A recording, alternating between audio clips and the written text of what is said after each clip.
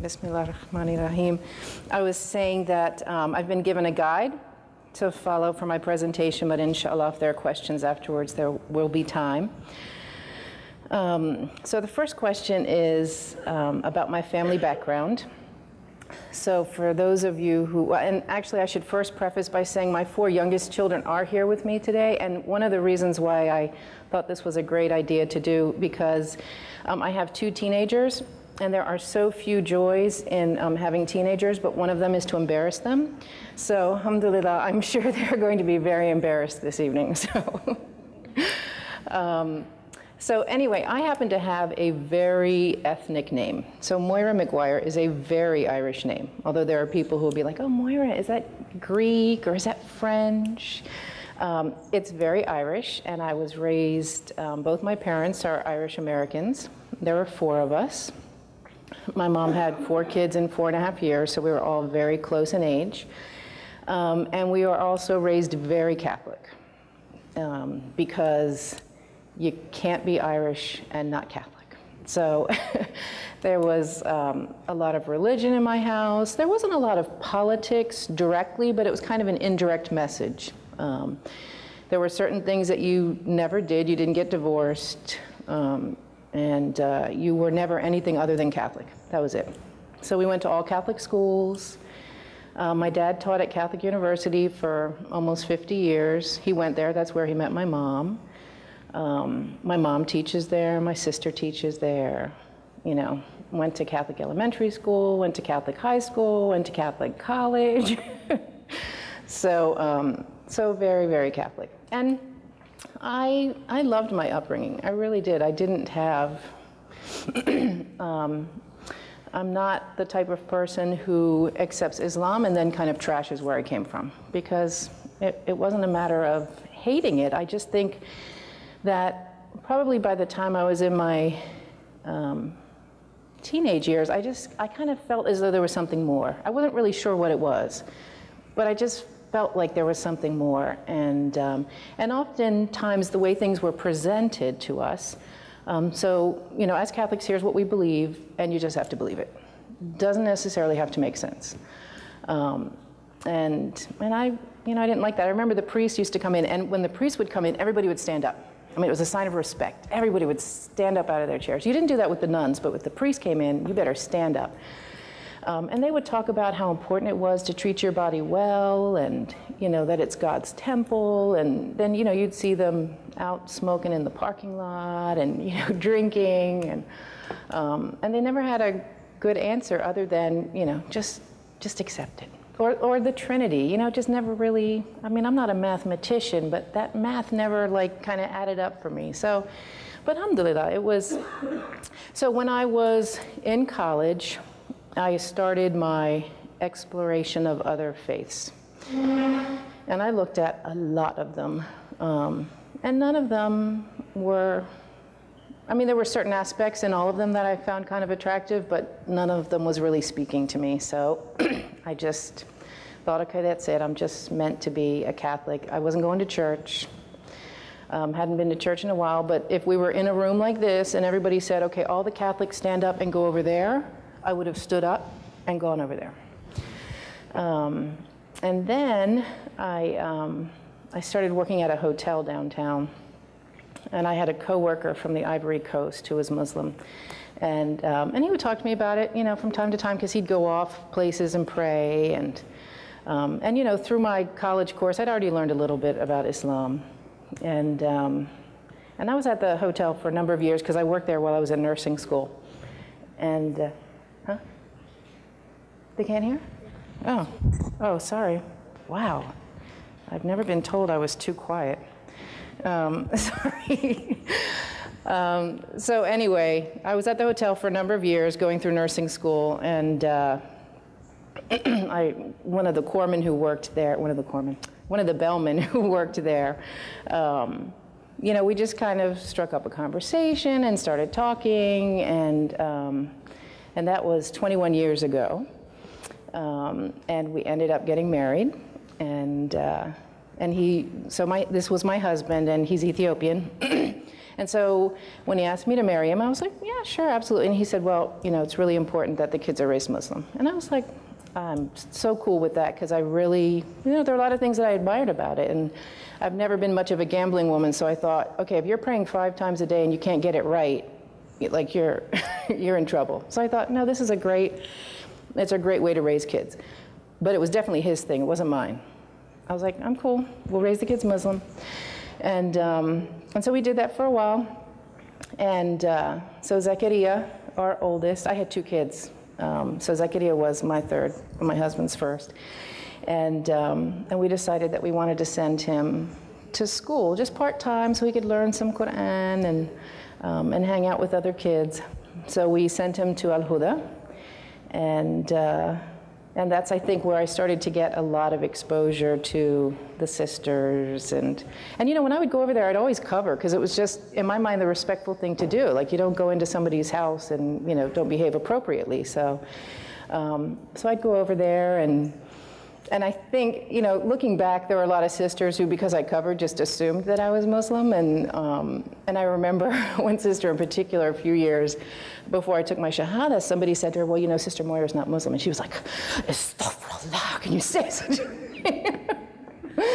um, But, you know, so I, you know, I got a lot of information. I got a lot of exposure and, um, but, but again, you know, I've met a lot of people who have converted, reverted, who it's a very short and simple process. You know, they read the Quran, they, you know, meet, they meet somebody, um, and boom, they're taking their Shahada.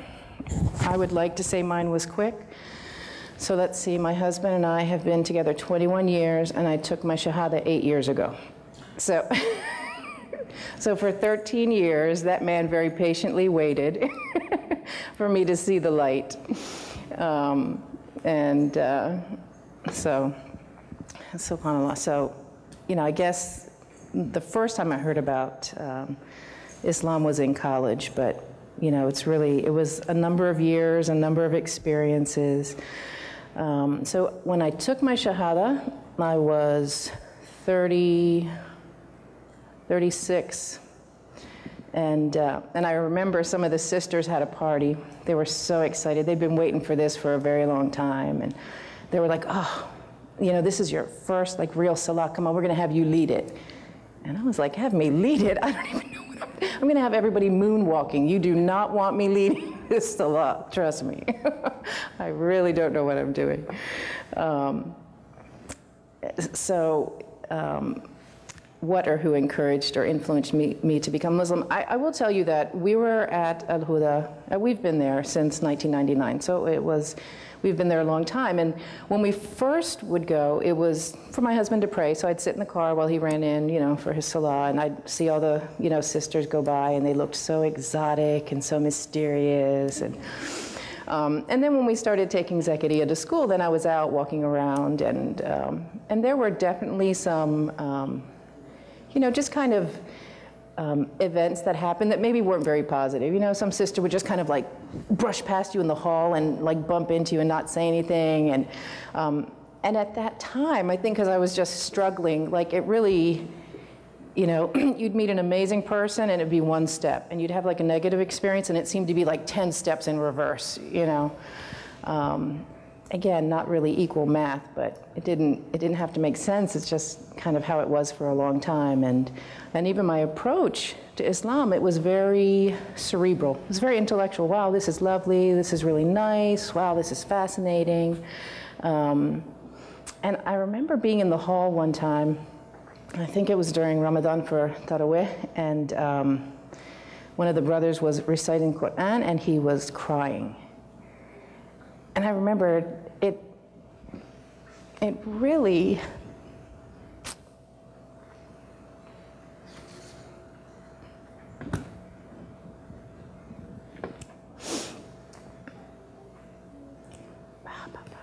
Sorry, I swore I wasn't going to.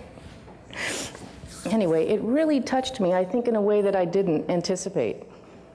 Um, but there was something about, you know, I thought to myself, what? Here's a grown man you know, this isn't a six year old, this is a grown man who's reading something. I'm not really sure what it is. I don't know what he's saying. But I mean, he was close to sobbing.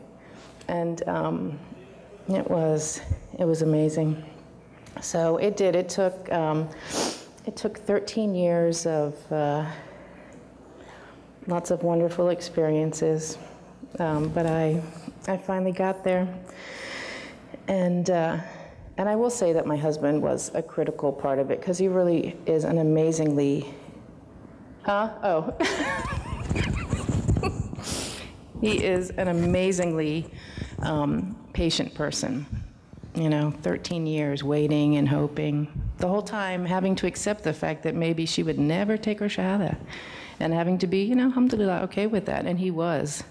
So I have um, undying respect and uh, gratitude for my husband. Um, so, what was my family's reaction to my conversion? I think um, for most of my family members, because again, my husband and I had been married for such a long time, they were like, uh, it's about time. What were you waiting for? I mean, I think they thought I was going to do it a long, you know, a lot sooner.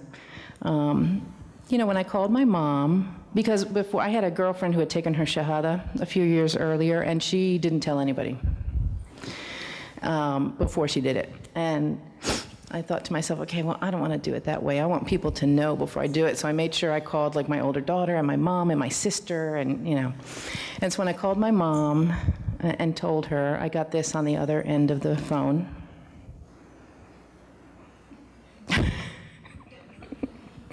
Like silence for a really long time. And I was like, Mom? and then she said, You know, we all have our own journey to take and our own path. I was like, Okay, so that means you're pleased? um, and again, I think that looking back, um, you know, culture is an amazingly powerful thing.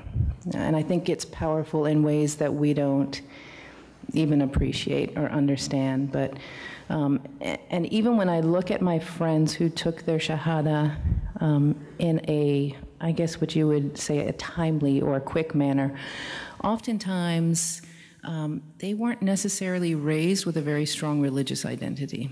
Um, or if they were, it wasn't a religious identity that was wrapped up in, like, you know, their ethnicity as well. And, um, and, and you almost have to uh, reinvent yourself to a certain extent. Like you really have to take everything apart that you learned um, and examine it. And it's that's a lot of work.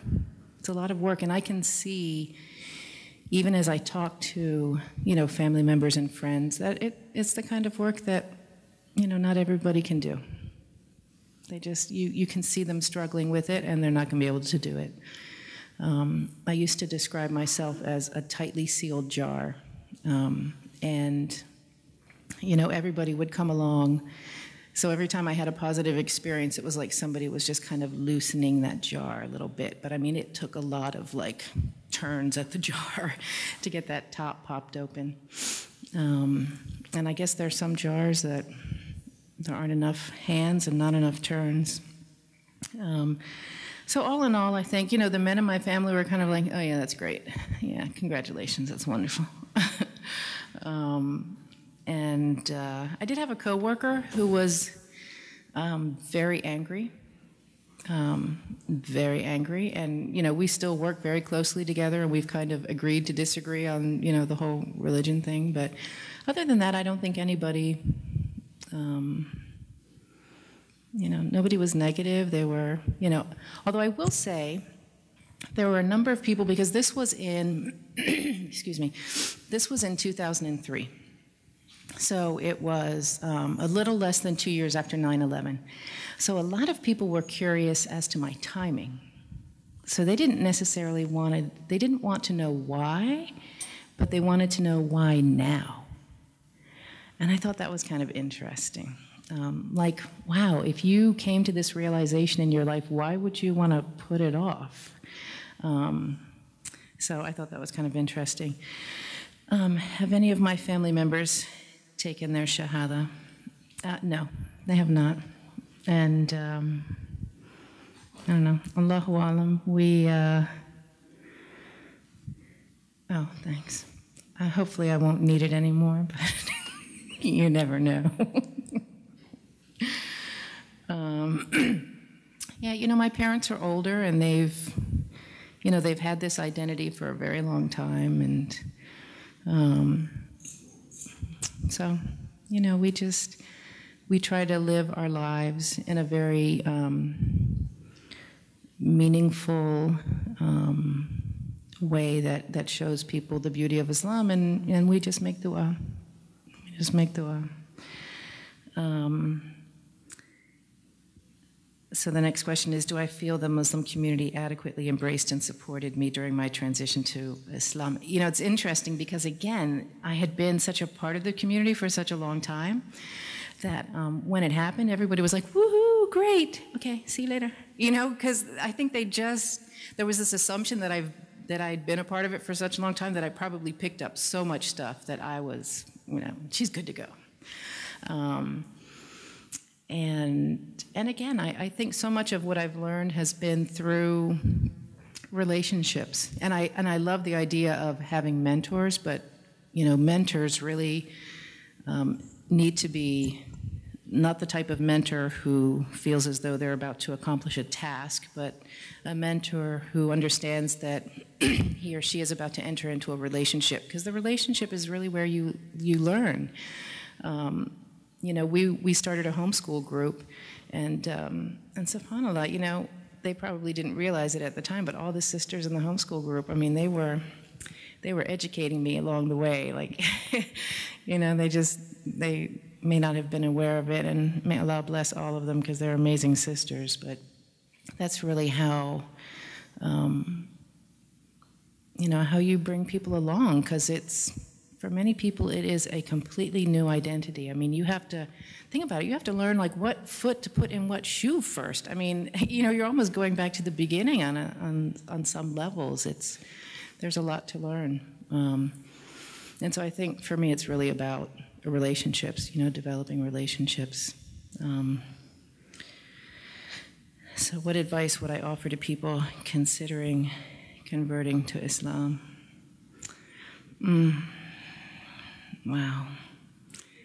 What advice would I offer? Well, I will tell you one thing that I struggled with a little bit because um, in Catholicism, you are taught that you can tell a lot about a religion by the people who practice it. Um, and so I kind of came to the Muslim community with that idea. Um, that if you meet wonderful, amazing people, then this is clearly a valuable, you know, religion. Um, and if the people behave badly, then it's not. Um, and you really can't look at it that way, you know. I mean, we're we're all a work in progress, and we're we're all struggling um, to do our best, but we're not perfect, you know. I mean, the dean is, but we're not, and so you really can't. You have to separate the two. You have to be really um, prepared to separate the two. Um, I don't know. I don't know what else. What other advice I would give? But that that was probably the biggest thing that I struggled that I struggled with. Um, and then, you know, you always get tripped up on like one or two verses in the Quran, you know, because you're like, mm, I don't think so, you know. Or um, so again, I mean, you know, I could have 50 positive experiences. Like, and, and honestly, when I first read the Quran, you know, it's so unlike the Bible. Um, although Catholics aren't really big Bible readers, um, like you hear the Bible at, you know, Sunday Mass. Um, and actually, Sunday Mass is pretty much how you set your watch because it is 60 minutes. I'm telling you right now, it is timed perfectly. And um, but you know, you don't really read the Bible at any other time during the week. It's pretty much a Sunday thing. So when I read the Quran for the first time, it was it was just a different format. It was very unusual, and I wasn't accustomed to it. And um, then I you know, every time I hear, because I haven't stopped hearing about people's experiences where they opened Quran and read it the first time, and subhanAllah, that was it, they knew. And, and I, I always was kind of secretly jealous of that, thinking, wow, I didn't have that experience at all, at all. Um, but uh, anyway, so so that is um, that's the end of my guide. I guess we can take questions. Are there any questions?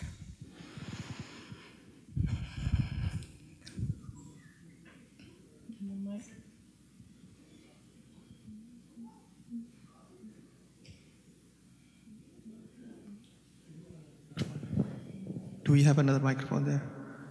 Okay. Well, we need somebody to to be the runner. Uh, do, does anybody has any questions? Okay.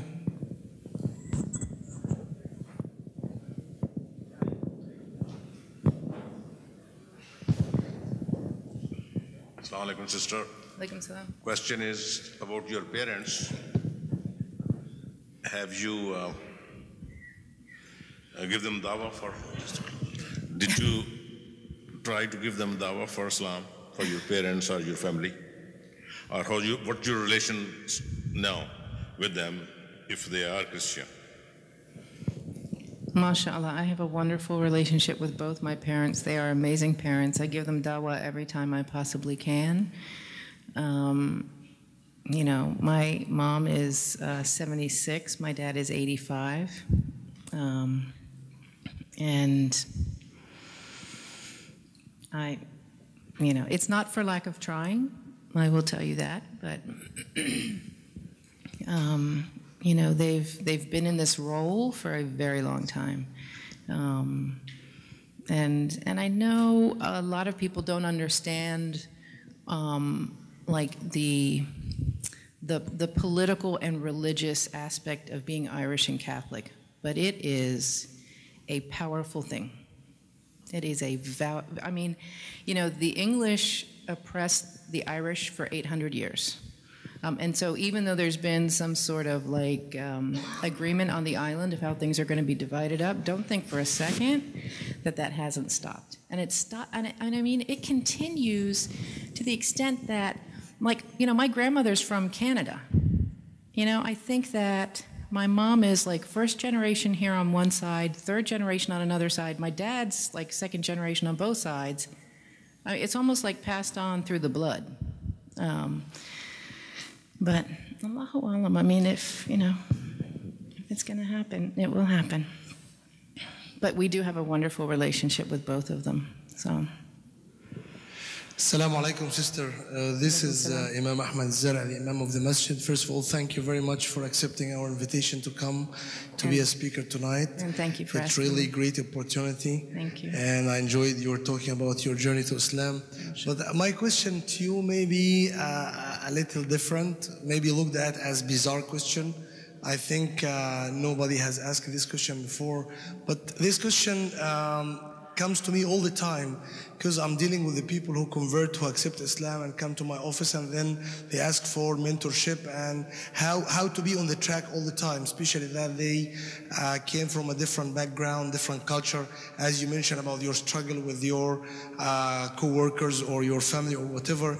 So what's my, my question simply, what is the thing that uh, may let a person who accepted Islam and became committed to Islam to leave Islam. So someone who became committed and accepted Islam and converted and without any kind of pressure, but he loves Islam and he realized that Islam is the true way. What, what's the thing that may happen to him or her in, in, in his life or her life that may drive them away from Islam or to leave Islam? Because this, this thing happened to me many times from sisters or brothers who may have something that take them away from Islam again. So what's this thing in your mind? Thank you. okay, so that is, um, I wouldn't say bizarre, but that's a complex question. I will say that for me personally, um, you know, if I accepted Islam because my husband is amazing, and honestly, I think if all brothers were like my husband, the entire world would be Muslim, but um, then I would have converted like the day after we got married. You know, one reason why it took me 13 years um, is because, partially because of my identity, but I think once I really realized that this was, um, you know, the right way to lead your life, then I really, um, I did not want to take my shahada and then become like a hypocrite and not be able to really do it the way it's supposed to be done. Because it is, it's a significant commitment and, and work when you're not brought up that way. Um, and, and so, what would take someone away from Islam, um, I would not. Um, I would not be able to begin to answer. Um, however, I think that whenever we're in um, position that makes us uncomfortable, we revert back to what we know and what's familiar. Um, and so, you know, as they're transitioning and encountering obstacles, if they don't have someone there who's kind of helping them to problem solve it, you know, within this new frame of reference, then they're going to go back to what what they knew. Um, and so that's why I think again the importance of, of relationships. You know, you can't just say, okay, I'm a mentor, so my responsibility is to, uh, do you have a copy of Quran? Check. Have you signed up for the Muslim 101 class? Check. You know, do you have my phone number? You can call me once a month. Check.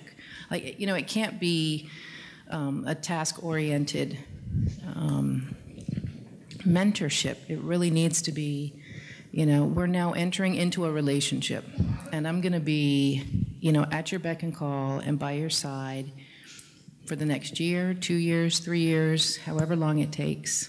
Um, so. Assalamu alaikum. Alaikum salam. Inshallah, I wanted to ask a question about the types of uh, people that you may have come across in terms of the person that you thought was teaching you the deen of Islam, but then as you got a better understanding of Islam and then went back to that individual that taught you the wrong way, was there ever a time that you approached that individual and say, listen, the stuff that you taught me in the beginning of my journey was incorrect, but I've learned this. Uh, how come did you taught me the wrong way. I'm not sure if I'm uh, asking the question the right way, but I hope I hope it's it's clear enough for you to be able to answer. And if not, you can ask me again, and I'll see if I can reword it. okay, so um, were there times when people gave me information that may have been incorrect? Possibly. Um, I think that, you know, by nature, I am a company gal. You know, I'm not the type of person who's going to rock the boat, stir the pot, push the envelope per se. But I also approach everything with a very healthy dose of, um, I wouldn't say skepticism, but, and, and again, I think it's one of the benefits. There are, there are many drawbacks to not being raised Muslim. So, you know, learning Arabic, that's a challenge. You know, if you, you know, grew up learning Arabic, mashallah, I mean, you are, that's a nice thing. It's a very nice thing. Um, but I will say that coming from a culture that was not wrapped up um, in an Islamic identity, I think helped me to kind of question things like, okay, are what you're, you know, is what you're teaching me culture or religion? And I think even from the beginning, I always approached it in that manner. Um, and, uh, and, you know, I mean, I remember my husband and I had a lengthy conversation one time about pants. You know, well, can't wear pants. Well, what do you mean you can't wear pants? We just can't wear pants. Okay, well, why can't you wear pants? Um, well, because then, you know, people will see, you know, that you have legs. Okay, well, I'm assuming they already know that I have legs. I mean, like, and I'm like, you know, like the sisters who wear the shalwar kameez. I mean, those are pants. Well, but they're different kinds of pants.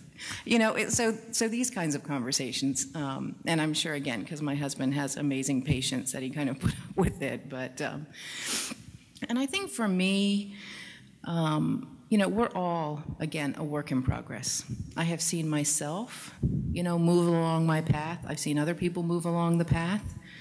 Um, and and I, I like to think that no one has given me information um, that was wrong with the intention of doing that. Um, and so, because of that, I, I don't think I've ever gone back to anyone. Um, now, I will say, you know, since you bring it up, and I don't know if this is what you, you might be referring to, but um, when I first took my Shahada, there were people who would say, okay, well, now this is what you need to do. Uh, and this is the way we do it. Um, and so, like the whole four schools of thought, and like, you know, nobody ever approached it like, okay, so there are four accepted schools, um, and my own personal choice is this one, but there are three other opinions. Nobody ever says that. They kind of, um, or at least the people I encountered, they made their own personal decisions, and then they passed on their own personal decisions as though they should be everybody else's own personal decisions. Um, and I, and again, you know, because I kind of question everything before I accept it, I, I think I was pretty good about trying to figure out what was someone's, you know, personal decision versus, you know, what's accepted amongst all four, or, you know, what my options were in terms of how I decided to, you know, interpret or understand or practice or accept.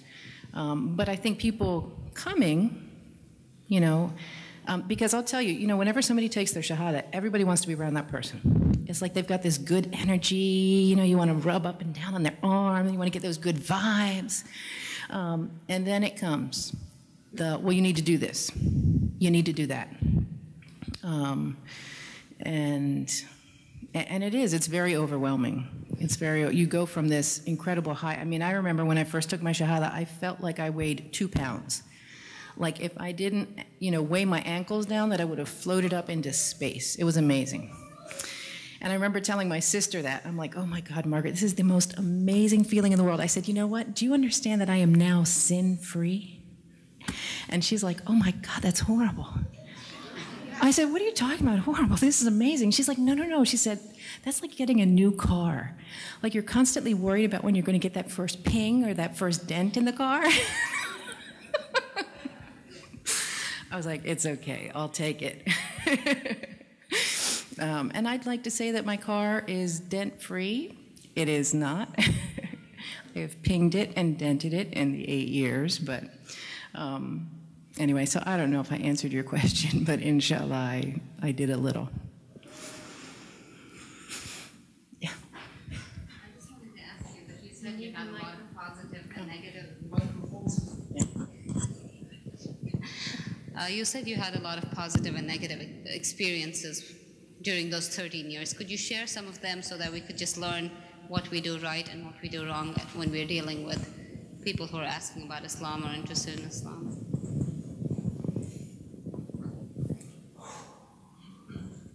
Okay, so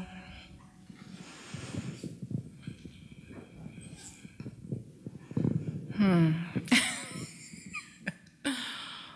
Um, well, again, I mean, when we first got, when we first started going to Al Huda, there were, um, you know, again, because, you know, just culturally, people have different sensitivities, you know?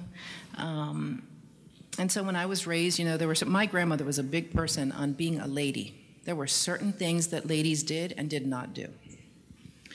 Um, and so I remember the first time a sister came barreling down the hall and like Zach was walking with me and she almost knocked me over and didn't say a word. And I was like, I was looking for like, you know, the manners police or something. Like, um, did you see that? I, it, it shocked me.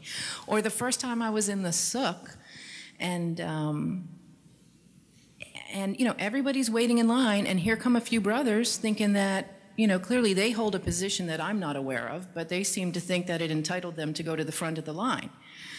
Um, and know, I, I, try to be a patient person, but I remember the first time I spoke up, and everybody's looking at me like I had three eyeballs. But I was like, uh, brother, we're all waiting here. We all have places to go and things to do. So you need to get back in line.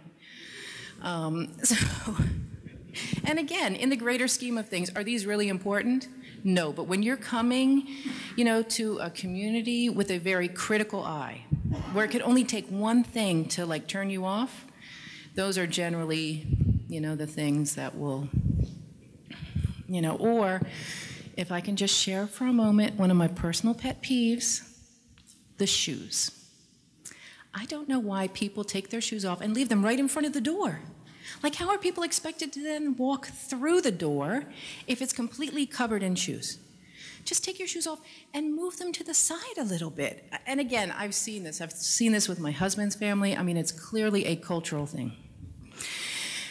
And again, I've decided it's my lot in life to then bend over and move all the shoes so that people can actually get through the door. So, you know, inshallah, I'll be rewarded for it. But, and again, it sounds kind of silly, but that just drives me out of my mind. we here at the masjid share your sentiments on the shoes. As you can see, we have shoe racks. It's an ongoing battle. We have a brother with a question. okay.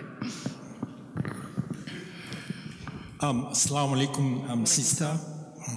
Um, with the understanding that you've gotten so far from, let me say, from the time you, you become a Muslim, and with your Christianity background, I mean, the knowledge that you've gotten so far, um, have you ever compared I mean, the teaching of these two religions and happen to highmark any, I mean, teaching or any point in the two religions that had really moved you in your mind to confirm within yourself that, well, Islam is really a true religion?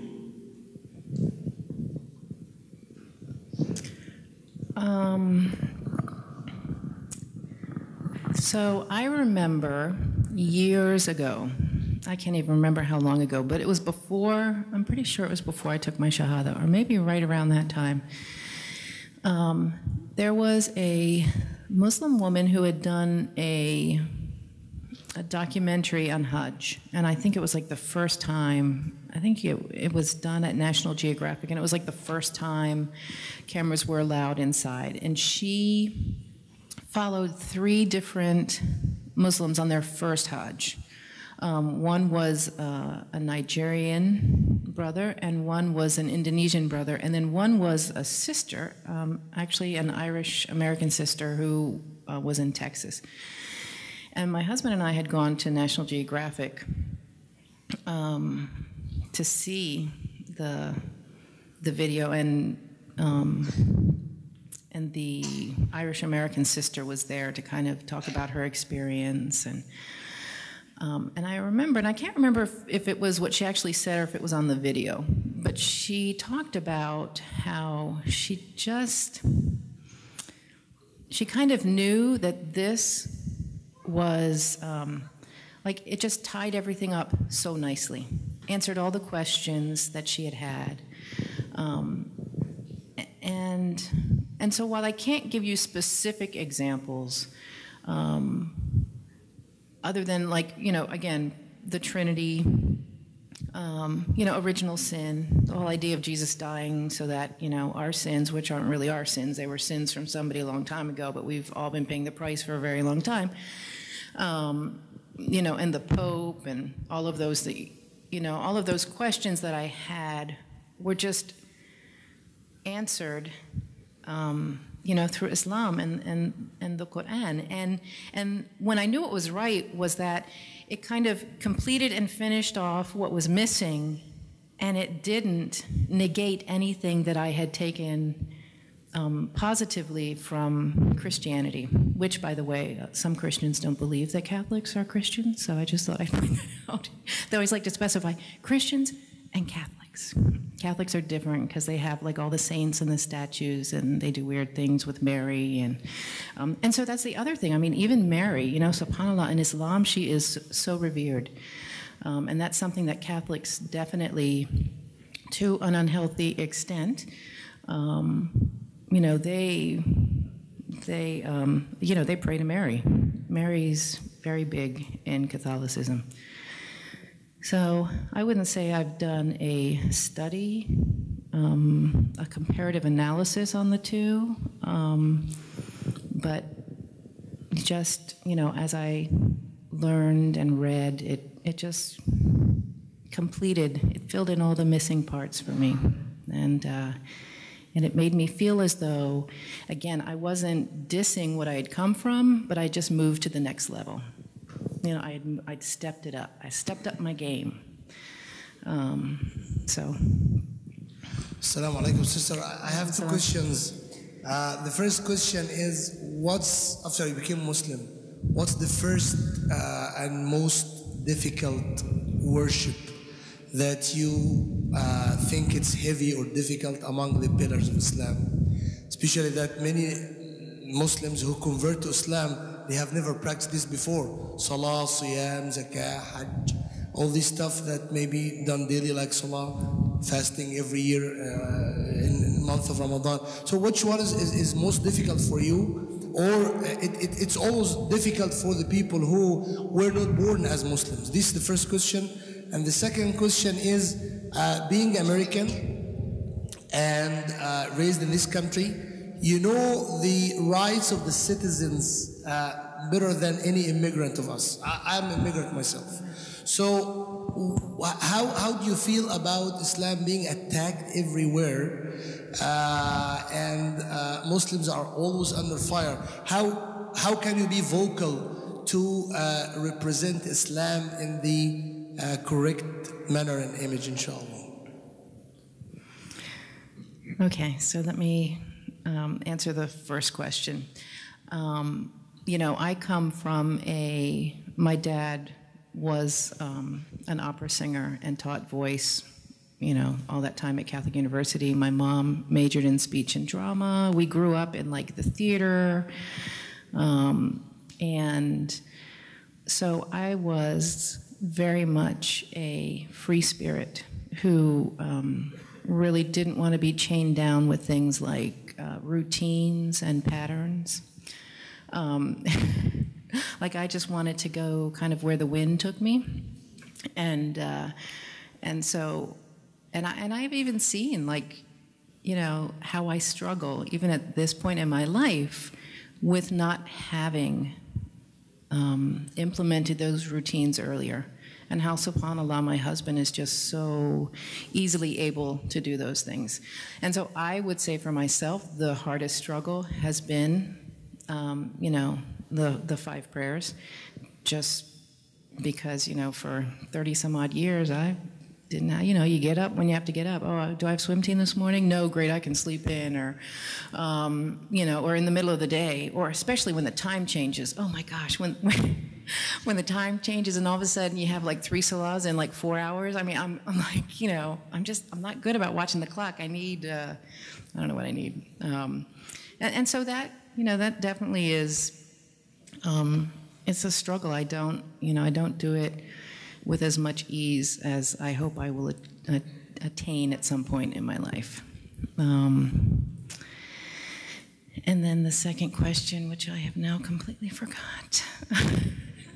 The second question was about the attacks on Islam everywhere in the media and non-media, and how can you be vocal and what, what you can do for that? How could I forget that question? So I remember, like, like the first 10 years that my husband and I were together, I used to always say to him, Look, honey, what Islam needs, again, because everything for me back then was like uh, an intellectual approach to everything. I'm like, Look, I got the answer for you, honey. This is what you need. You need a PR agency.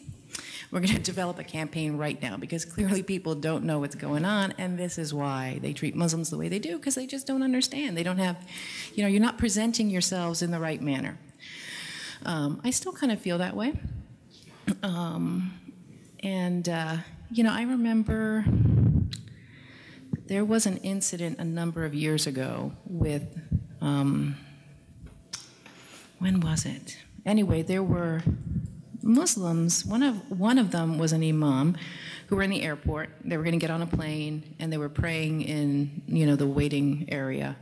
Um, and there was this big, you know, they stopped them. And I thought to myself, wow, now, when I was younger, first of all, I wanted to be a nun. Like the nuns were really amazing. Um, some of them, some of them were mean, but most of them were amazing. Um, but when you saw a nun, even to this day, people who, who see religious, you know, people in religious attire, they immediately feel safe and warm. And I think to myself, okay, this is an even greater caliber of person. You know, what is it that we're not communicating to people? Because you should feel that same safety and peace when you see somebody bending over to put their forehead to the ground, wherever it is. Um, so, and unfortunately, I think there's a lot of politics that, you know, colors people's perception. Um, so, you know, a lot of people have, you know, are not familiar with Islam. So, you know, I sometimes think if people were learning about Christianity during like the 60s and 50s and 40s in this country, they really wouldn't have a good opinion of it. Um, so, does that answer your question? Assalamu alaikum, sister. Walaikum Uh, is the, if there is no sister that needs to speak before me, maybe I can ask my question. Any sister questions? Yes. said in the beginning that um, Assalamu alaikum. Walaikum salam. I'm a, I was born Muslim and I'm still Muslim. Alhamdulillah. yeah, alhamdulillah. but I, um, the question that the Imam gave, the first one, about uh, the things that makes you get out of Islam, convert and then revert. Uh, the thing that I saw through your life, it was, I think it was good that you stayed 13 years with your husband because getting married, marriage is a journey by itself. Mm-hmm. You get rid of that journey, you learned it, mm-hmm. and then you step to the other journey. The new Muslim that convert, uh, non-Muslim that convert, some of them get married right away and they started two journeys, difficult journeys at the same time. And I was born a Muslim, and really marriage is not easy. Mm-hmm. Because you start, it's a new life. I felt like I was dead and I'm born again, and I was a Muslim. How about somebody who's just started a new way? Yeah. I think, mm, I told you I don't have a question, but the way you went 13 years is like when Islam came to Sayyidina Muhammad sallallahu alayhi wa sallam. 13 years, they were learning who's Allah, what is Jannah, and what is Nar. Yeah. You learned about your husband, and he helped you into your second journey. Yeah. And I will, again, you know, growing up Catholic, you don't get divorced. That's it. I mean, I remember the very first person in my family, this was my mom's cousin, who got divorced. The scandal. It, to this day, the scandal of that divorce. You could hate the person forever, but you may not divorce them. Because really, the institute of marriage is so much more than the players in term, you know, in Catholicism. Um, however, I then come to Islam, where sometimes you see, and again, I know that it's, you know, it's permissible, um, but sometimes you see the opposite. You see people, you know, like going into marriage and then, like, you know, four months later, mm, it's not working out. Well, yeah, of course it's not working out. Four months. I mean, when I think about my husband and I, 21 years, we maybe got to like, like a really cool role about a year ago. For 20 years, we've been on like this, you know, roller coaster. So four months, yeah. Um, and so, and I don't know, again, in Catholicism, you've got like pre Cana. Like before you even get married, you got to go hang out with the priest, spend a little time. They're going to be asking you all kinds of questions. What are your intentions? What are you going to do? You're going to baptize your kid. Um, and um, so, but um, yeah, they are. They're two very, very difficult journeys. Um, and to do them both at the same time is very challenging. Yeah. Assalamu alaikum, sister. Alaikum salam. Um, if you can give us uh, three pointers for uh, uh, doing da'wah uh, outreach to uh, Catholic communities, what would they be? Thank you. Um, well, I think I would certainly highlight the the uh, the position of um, Maryam in Islam because that is, again, for Catholics, Mary is very important. Um, and you know, there, were, there was a time in the Irish American community where every girl's name was Mary something. Every girl's name was Mary some. Mary Ann, Mary Pat, Mary Frances, Mary Kathleen, Mary whatever. Um, so that would be number one. Let's see. And, and even the, the reverence for, um, you know, it's interesting because I remember when the current Pope um, was speaking to a group, and I can't even remember what the occasion was, but he, you know, brought up some obscure historic text where someone was speaking derogatorily about, you know, the Prophet Muhammad sallallahu alaihi wasallam. And, and I remember saying to my mom how offensive that was to me because here you have the Pope, who's the head of the church, you know, disparaging a prophet of God. And I said, if you took the most uneducated Muslim, they would not do that. And she said, Well, you can't say that. I said, Absolutely, I can say that. Without a shadow of a doubt, I can tell you. Not a single one. Um, anyway, I digress. Okay, so um, Maryam would be one. Mm. You know, um, and it's hard. I've kind of, you know, been out of the Catholic community for a while, and I know it's very different. I mean, you know, now you have what you call cafeteria Catholics, and that's where you can go with your tray down the cafeteria line and kind of take what you want. Like, oh, I kind of like this part of it, but um, yeah, no, I'm not liking that. You can keep that. You can keep that. I'll take this. So, you know, even Catholics today, I think, are being raised very differently than than we were. Um, I think I, I think just in general, you know, dawa, the best way to do it is just in that manner, like as a reminder, you know, explaining to people, um, you know, not being overly aggressive, not trying to, you know, cram it down their throats. Because I will tell you that when I talk to somebody, I can tell when they when they see what I'm saying is true. And oftentimes the, re- the response is not one of, oh, that's lovely. It's usually one of like anger, uh, defensiveness. Um, you know, people who are, oh, that's nice, or, you know, kind of apathetic, it hasn't really touched them yet. You know, it's the people who kind of become defensive, um, who know on a certain level that what you're saying is true. But again, it means that they have to do a lot of work.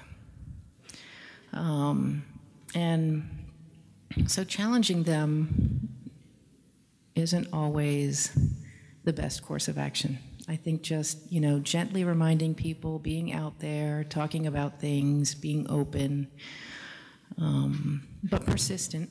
You know, you don't want to to go away, but um, you also don't want to be in their face as well. So. Assalamu alaikum, sister. Walaikum salam. Um, inshallah, we will pray Isha at 7.30, so we'll take these questions. You can summarize the answers to these questions, because I have some other brothers that have other questions. One quick one I'd like to throw in here is, um, how do your children handle the, how do you handle holidays at your house with, your grand, with the grandparents?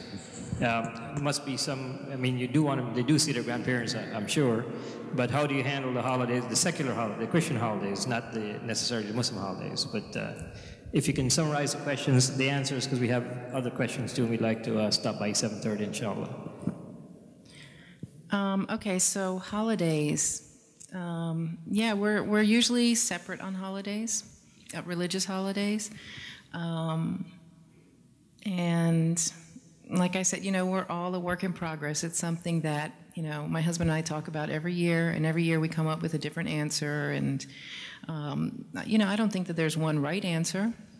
My parents, you know, go to church every Sunday like they have for, you know, their entire lives. My siblings, um, I always tell them, I'm like, just make sure you warn me before you go to church because if there's a lightning bolt coming down, I don't want to be anywhere near it.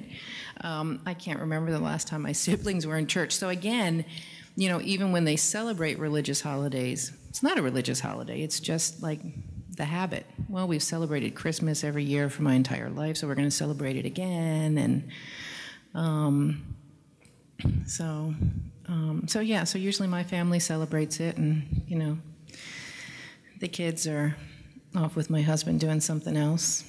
So, um, and again, you know, you're you're constantly navigating issues like this. Um, so we just we do our best. There's a question over here on the sister side. Assalamu alaikum. Walaikum Um, salam. I have a question. Yeah, baby. Um, did you like try to um conv- like let your parents or your siblings um convert to Islam and teach them something about the Quran or something? Yes, I did. I talked to them a lot. But I don't know. I guess they're not ready yet. So just, I make dua. That's it.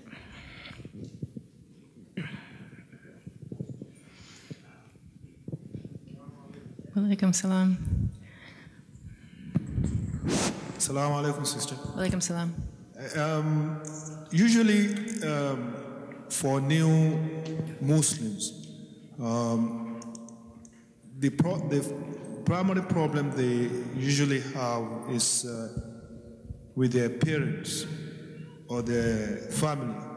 So, um, I I would like to know uh, how long did it take your family to uh, somehow accept you as a Muslim, and what strategies will you want to share with uh, the new Muslims uh, in, if you have been almost uh, completely accepted by your by your family?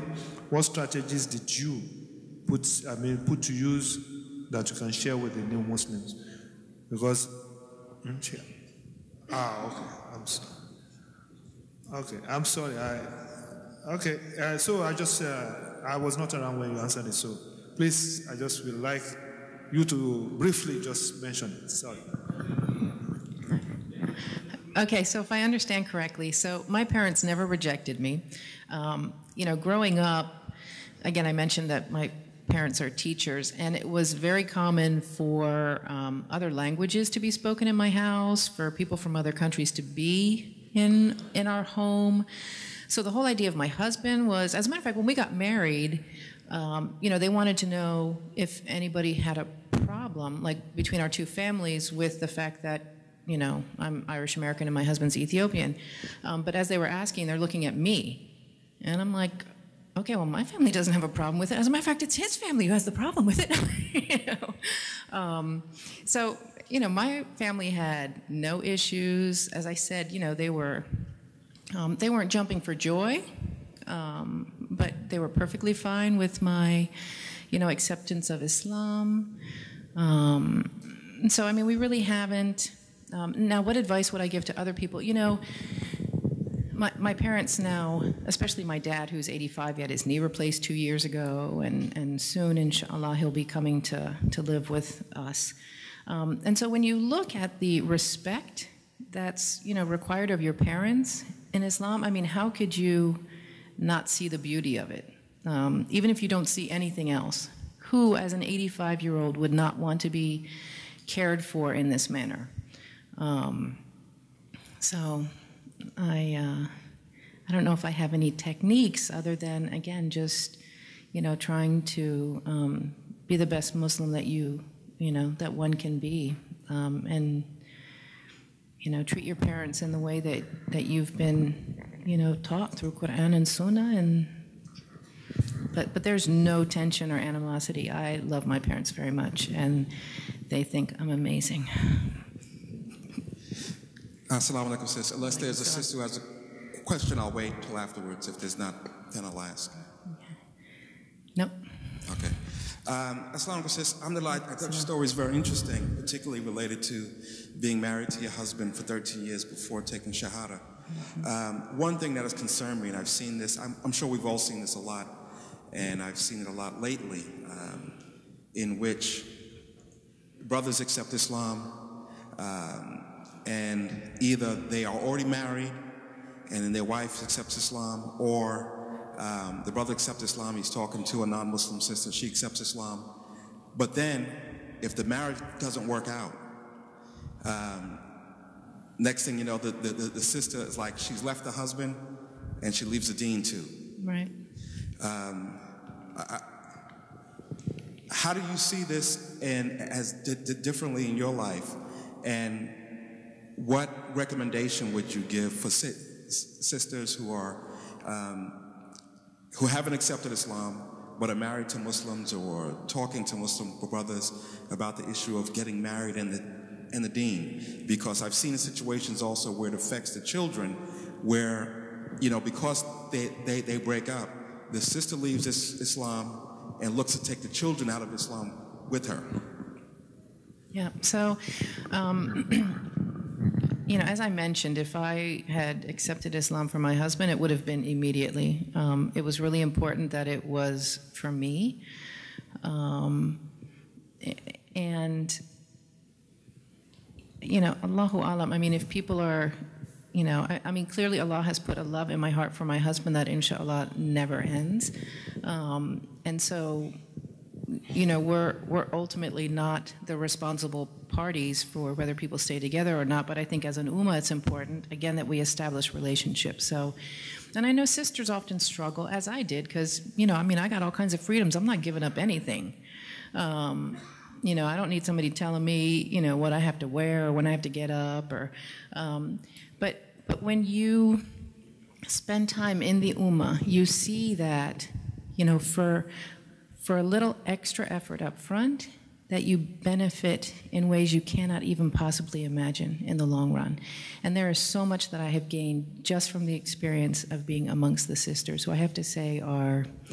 Um, they can never get the props that they truly deserve because they are the um, most humble and patient of people that I have ever met. Even when I walked around the school, I would meet people who um, I just thought were so amazing, and, and they would often think, "Oh no, I didn't do that well enough." And I thought, "Are you kidding?" Like, um, and, and so it's it's just really important to be, you know, even.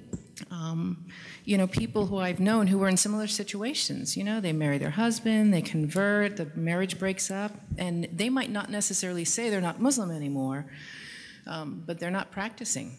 And so much of that, when I see it, it happens in people who have not become part of the community. And when I say part of the community, that means that you are interacting with your Muslim sister or your Muslim brother on a daily basis. Daily. Um, it just, it has to happen. So. Assalamu alaikum, sister. This is inshallah the last question because we have to pray at uh, 7.30 as you announced. The question is very simple and it may be a funny question, but uh, it, it came many times to the Imam about the dilemma of changing name after becoming a Muslim. So I noticed that you didn't change your name. So uh, how do you feel about changing the name? And if you uh, choose to change your uh, pre-Islamic name, what would be the name that you may choose? Thank you. So, yeah, like I like I mentioned before, you know, there were so, there are so many. Well, all things about Islam are perfect, but it just worked out really well. You know, I was married before, and I did change my name because that's what you were supposed to do. Um, and after that marriage ended, I decided I was never changing it, my last name, my my name again. Um, and I don't you know, see, I mean, Moira is Gaelic for Mary, for Maryam, so there's no need to change it. It's it's a beautiful name, um, and I'm not one on. Again, it's one of those things that. Um, you know, as I came in and I learned more, and you know, people were changing their names, and I would often think to myself, okay, well, why are you changing your name? I mean, I have a very, very dear friend who, um, like myself, raised very Catholic, um, and she converted to Orthodox Judaism. Um, and so she changed her name um, because, you know, she wasn't as fully accepted in their community, you know, with her non, you know, Jewish name. Um, but you know, I always question that. I'm like, why? Why do I have to change my? Like, there's nothing wrong with my name. It's not offensive. You know, it's a beautiful name. Um, so, so I would not change my name. Uh, Assalamu alaikum. Uh, thank you, salam. Sister Mara. You did a great job. We appreciate Jazakallah. you. I've known you and your family maybe, what, 10 years? Yeah, and your beautiful daughter. Oh, thank you. Thank you very much. We really do appreciate that. And, and we hope your presentation would inspire us to really do a good da'wah, uh, to reach out to the uh, Catholic communities. And, and we have it taped. And so, inshallah, uh, many will see and learn from you. And inshallah, a lot of people will accept Islam through that. Inshallah. Uh, thank you very much. Uh, sisters, you can do your salats here on this side if you choose to, uh, or you can go back if you like. They can pray here. There's enough space, and we will move the chairs and, and do what we need to do to make you comfortable, inshallah. Jazakallah khair. And thank you for brothers for coming also and sisters. And we will have next month, next month we will have Imam Talib. Imam Talib is the Imam of the masjid in, uh, in Capitol Heights. Uh, he will be here, and then following that, we will have a couple other brothers who will be presenting. So many of you know Imam Talib, uh, and so inshallah we will see you. Assalamu alaikum wa rahmatullahi wa.